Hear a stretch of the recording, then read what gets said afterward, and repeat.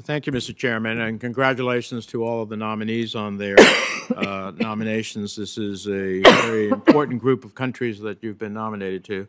Uh, uh, let me start with you, Ambassador Goldberg. Uh, I was with the special envoy of uh, the president-elect of South Korea yesterday.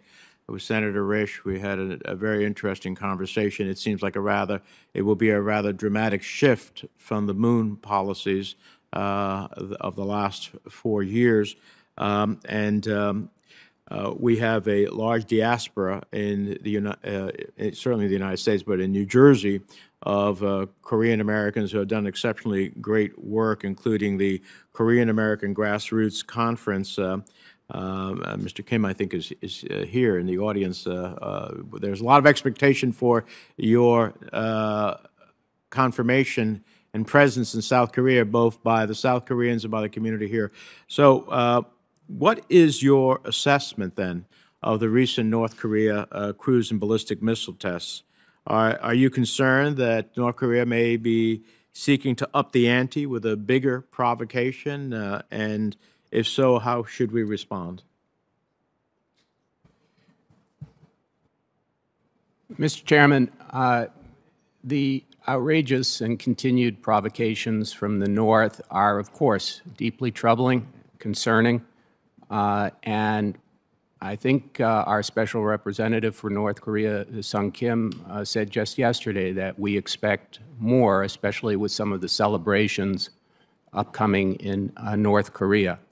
We have to uh, react with uh, enhanced deterrence, with uh, a solid alliance between the United States and South Korea, Japan, and working together to thwart these uh, threats uh, from North Korea uh, when sanctions are available and enforceable to also uh, continue uh, with very st strong implementation. so we do need to be aware that this could happen and that these provocations, which are illegal, which violate UN resolutions, which violate their own commitments, North Korea's own commitments, so uh, let me ask continue. you, we, already uh, the ballistic missile tests are clearly violations of the UN Security Council resolutions. Should we pursue additional sanctions against North Korea? Uh, I mentioned earlier to Senator Van Hollen that uh, my primary responsibility is in the, uh, if confirmed, would be to help in the uh, solidifying the alliance and deterrence and working uh, with our military and other countries. Uh, I'm not strictly speaking, going to be responsible for North Korea policy. No, but I, am sure the administration would have you on the phone once you're confirmed as part of the interagency process to opine. Don't you think so? I hope so. Uh, I, I, hope so too, uh, or, or, else uh, I don't know why we're sending you there. Uh, no, I, it uh, seems to me that there has to be a response uh, if North Korea can continue to create provocations can continue to violate Security Council resolutions with impunity and there is no response, then it will continue to do so, and it will only deepen it.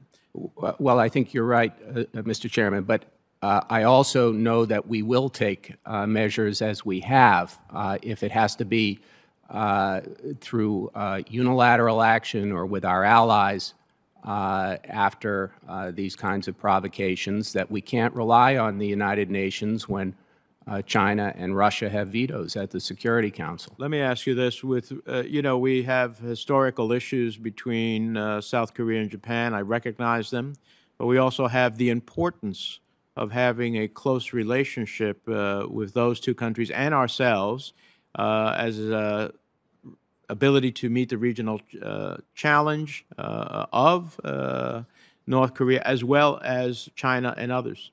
Uh, do you see playing a role in helping the South Koreans uh, find a pathway forward with their Japanese counterparts? Absolutely.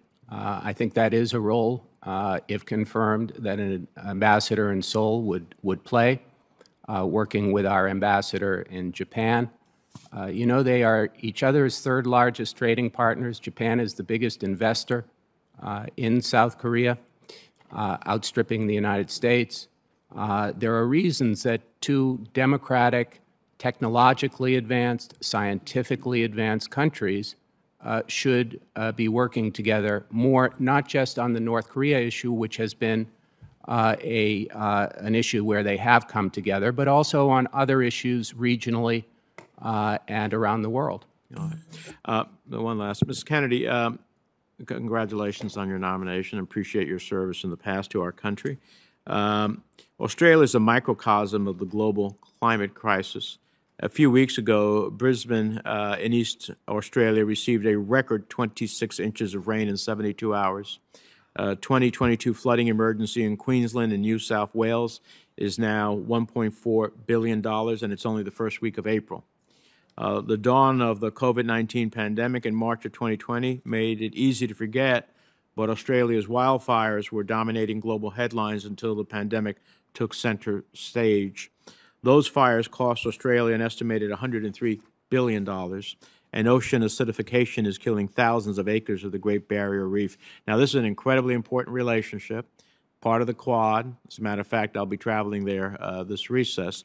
But there are great lessons for the United States uh, to learn uh, to how to prepare for such extreme climate disasters and how to get Australia to think about uh, the climate responsibilities they have as well in their own interests as well as a global interest.